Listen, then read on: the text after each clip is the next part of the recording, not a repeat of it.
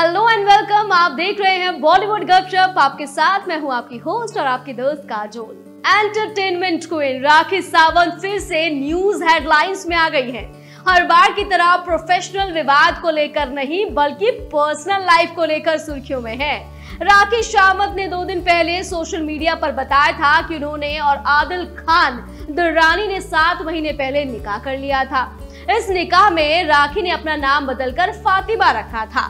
लेकिन जब राखी ने शादी की बात मीडिया में रिवील की तो उन्होंने आदिल पर कई तरह के गंभीर आरोप लगा दिए। भाई, ड्रामा क्वीन है, कोई ड्रामा ना हो, कोई कंट्रोवर्सी ना हो तो राखी सावंत किस काम की?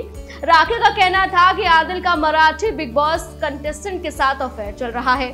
आदिल के फ़ोन में उन्हें कुछ चीज़ें दिखी हैं, जो उनके पास सबूत के तौर पर मौजूद हैं। जब आदिल से निकाह की बात पर सवाल किया गया तो उन्होंने साफ़ इनकार कर दिया।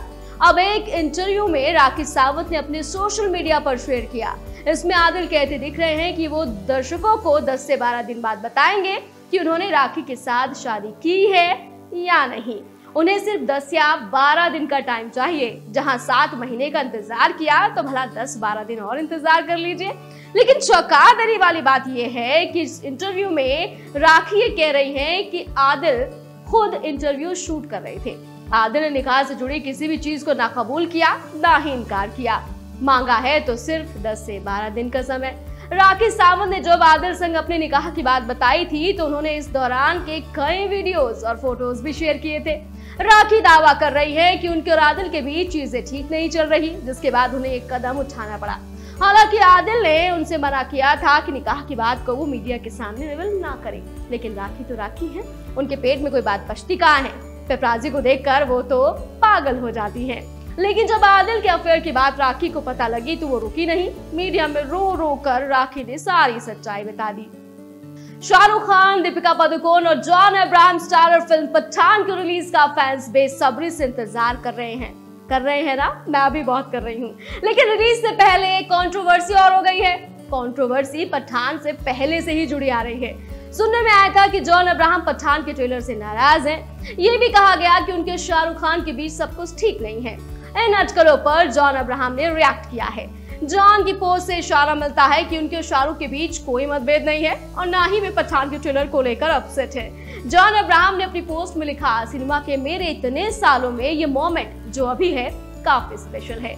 ये शानदार है कि आप सभी ने पठान के ट्रेलर को इतना प्यार दिया। इस मूवी को बनाने में काफ़ी मेहनत लगी है। ये बड़ी फ़िल्म है। आदित्य चोपड़ा ने हमेशा मुझे मेरे सबसे बेस्ट रोल्स दिए हैं। और मैं आपके ये देखने का इंतज़ार नहीं कर पा रहा था, जो सिद्धार्थ आनंद ने मेरे और फ़िल्म के साथ किया है।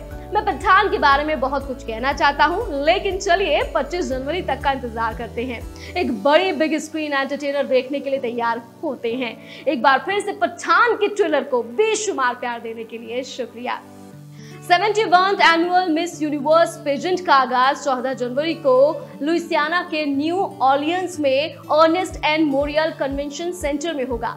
पूरी दुनिया की निगाह मिस यूनिवर्स प्रतियोगिता पर टिकी हुई है। इस साल दुनिया भर से 86 प्रतियोगितों ने, यानी कंटेस्टेंट्स ने प्रेजेंट में हिस्सा लिया है। मिस यूनिवर्स प्रेजेंट की विनर को पूर्व मिस यूनिवर्स हरनाज संधू जीत का ताज पहनाएँगी। अल्बानिया से डेटा, कोमोनी, अंगोला, स्वालिया दसलवा सिल्वा, एंटोनिया, अर्जेंटीना से बर्बरा कैब्रेरा, अर्मानिया से क्रिस्टेना, अरूबा से कियारा एरन और ऑस्ट्रेलिया से मोनिक रिले, बेल्जियम से चेन वर्न आर्ले, भूटान से ताजी छोड़े ब्राज़ील से मिया मोमोदे, कनाडा से अमेलिया और भारत से दिव्या राय सहित दुनिया भर की 86 कंटेस्टेंट्स मिस यूनिवर्स के ताज के लिए मैदान में हैं। वहीं मिस यूनिवर्स के सेवेंटी एडिशन में भारत का प्रतिनिधित्व कर रही Divya Rai national costume round के लिए सोने की चिड़िया बनकर मंच पर आई। इस इवेंट के लिए उनका आउटफिट अभिषेक शर्मा ने डिज़ाइन किया था। डिज़ाइनर अभिषेक शर्मा के मुताबिक नेशनल कॉस्ट्यूम भारत के सोने की चिड़िया के रूप में अर्थियल पोर्ट्रेल से इंस्पायर है, जो डाइवर्सिटी के साथ सद्भाव में रहने के आध्यात्मिक सार के साथ साथ हमारी समृद्धि, संस्कृति, विरासत की संपत्ति का प्रतीक है। और ऐसी ही मसालेदार चटपटी खबरों के लिए आप देखना मत भूलिए बॉलीवुड गपशप।